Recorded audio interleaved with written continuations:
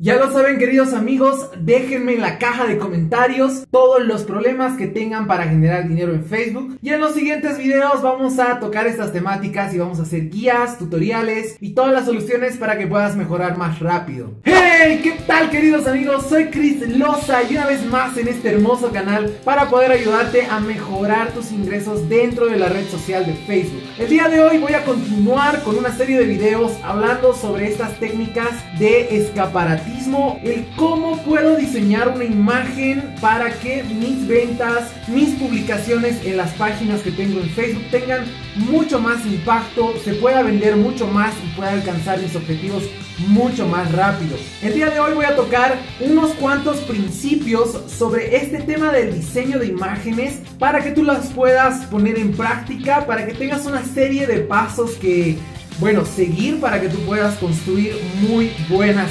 imágenes y claro, algunos consejos que te puedan ayudar a mejorar más rápido. Así que préstame tus cinco sentidos. Esto es los principios básicos para diseñar imágenes en base al escaparatismo en Facebook.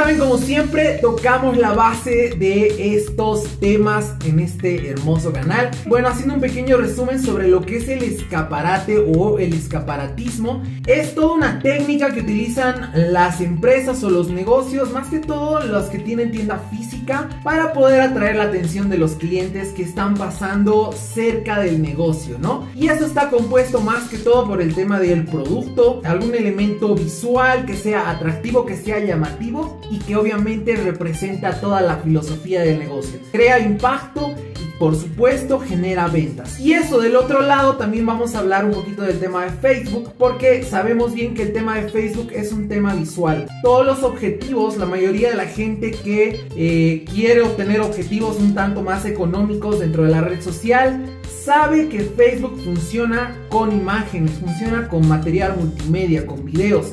Entonces, sin más, te voy a ir mostrando todos los principios básicos de todas estas técnicas para que tú puedas más o menos entender y puedas elaborar un proceso de evaluación y de fabricación de imágenes, ¿ok?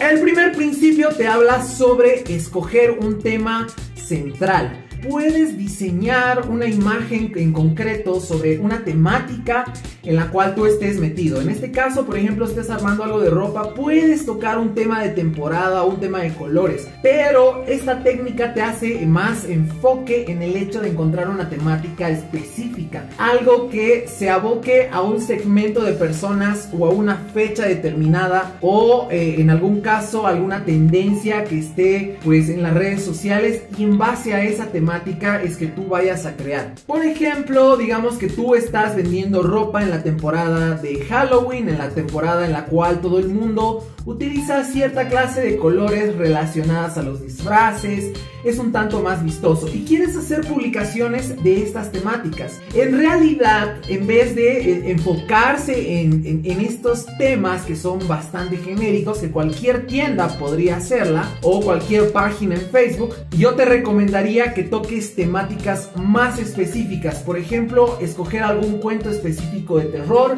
alguna película en específico y adaptar todas tus imágenes a esa temática que es mucho más interesante, mucho más llamativa para los clientes y por supuesto te vas a diferenciar del resto de la competencia. El segundo principio tiene que ver con el tema de la atención el punto focal de atención. Y es que, claro, uno diseña imágenes con la intención de, que sean atractivas, pero también tenemos que considerar dónde van a caer los ojos de nuestros clientes y de los usuarios. Tienes que enfocarte en el cliente y llegar a pensar dónde pondría los ojos, dónde miraría en primer lugar en la imagen que tú estás diseñando. En algún caso es importante tener, por un tema de composición de imágenes, una imagen bastante bastante grande y llamativa donde el cliente de buenas a primeras apunte su atención. Y luego claro cuando revisa el resto de la imagen pueda ver el resto de las características que tú le has puesto. Este punto se puede sumar un poco más con el tema de iluminaciones, con el tema de colores y claro, tú puedes hacer énfasis y puedes crear puntos de enfoque a partir de estas características también. Todo es una cuestión de diseño. Ahora, el tercer punto o el tercer principio a considerar es un poco redundante con el anterior, pero es importante que pienses en el cliente. Claro, obviamente tú puedes tener todo un proyecto armado, puedes tener toda una tendencia de productos armada, pero es importante pensar qué es lo que el cliente está buscando en este momento. No está de más que te puedas fijar en las tendencias en este momento dentro de tu país o tu ciudad, de lo que esté pasando, qué sea lo más llamativo, qué está de moda, qué colores se están tocando últimamente y en base a eso armar tu diseño, porque eso es lo que obviamente el cliente está buscando. Para eso yo puedo decirte que es muy importante que tengas definido tu segmento de mercado, que hayas estudiado todas las características de tu población, del mercado al que tú estás dirigido. El cuarto principio está enfocado en el tema de que seas una persona arriesgada seas atrevido en tus decisiones. Pues claro, obviamente el resto de la gente que está abundando en las redes sociales toma diseños tradicionales, se enfoca en colores y tendencias que son aceptadas obviamente por los clientes, pero esta técnica hace enfoque en el hecho de que si tú tienes un poco de un poco de riesgo, un poco de creatividad y un poco de atrevimiento en tus imágenes, con el hecho de que claro saques de foco a los clientes, eso te va a sumar porque obviamente lo primero que no cuadra en todo una, eh, una serie de pantallazos en imágenes atrae la atención. El quinto principio tiene que ver con la simplicidad. Hoy en día la gente quiere comunicar mucho y cuando tú tratas de comunicar muchas cosas terminas llenando de ruido a todos los usuarios que están revisando tus publicaciones. Y como producto de esto, de este ruido, es que la gente busca cosas que sean fácilmente digeribles, que sean sencillas a la vista y que obviamente pueda transmitir un mensaje solamente con verlo durante unos 3 a 5 segundos, porque la gente pasa muy rápido.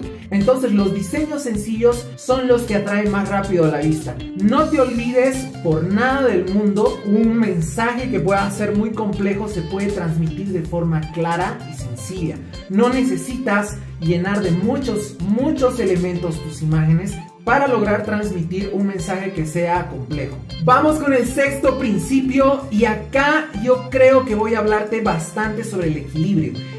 El equilibrio es una parte fundamental de los diseños que vas a realizar. Tienes que combinar todos los elementos de una imagen o de un video si quieres y tienes que lograr comunicar una emoción o un sentimiento, pero todo del lado de la sobriedad, de la armonía, para que el cliente o el usuario lo pueda recibir bien. En este caso es importante que analices temas de colores, temas de contenido, temas de formato, el tema de texto, y también, por supuesto, es importante que revises el tema de sentimientos. Todo lo que tengas que transmitir en una imagen tiene que estar perfectamente equilibrado y tengo que ser demasiado eh, enfático en el tema de que la ubicación de todos los elementos sea muy muy muy pensado. Nuestro siguiente principio tiene que ver con la revisión y la evaluación podríamos decir que es el vistazo final. Antes de publicar cualquier imagen, es importante que revises todo cómo va a salir en los dispositivos. Tengo entendido que para cada imagen que tú publicas en la red social tiene sus dimensiones, tanto en el tema de si es en una página, como si es en un perfil personal, como si es en un marketplace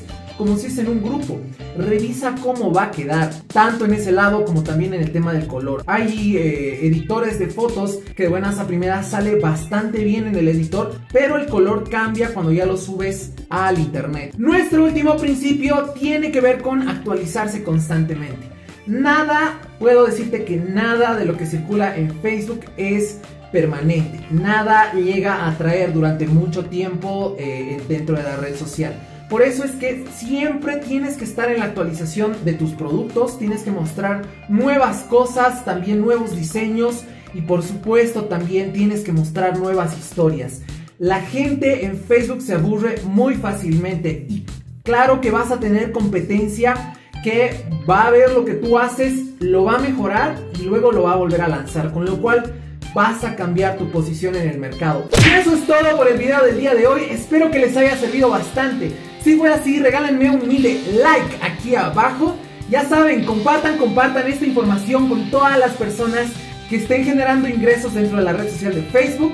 Estas son mis redes sociales por si quieren seguirme. Ya lo saben, pueden escribirme en estas direcciones para que podamos revisar sus negocios, veamos sus dudas y por supuesto yo pueda aportarles con algunas soluciones. Además de eso, ya lo saben, para mis siguientes videos, déjenme en la caja de comentarios todos los problemas que tengan en Facebook para que yo pueda ir armando siguientes videos, tutoriales y ayudas para que puedan crecer más rápido. Y ya lo saben queridos amigos, soy Kirlosa y a todos los facebookeros de este hermoso canal les mando un abrazo muy grande y nos vemos hasta un siguiente video.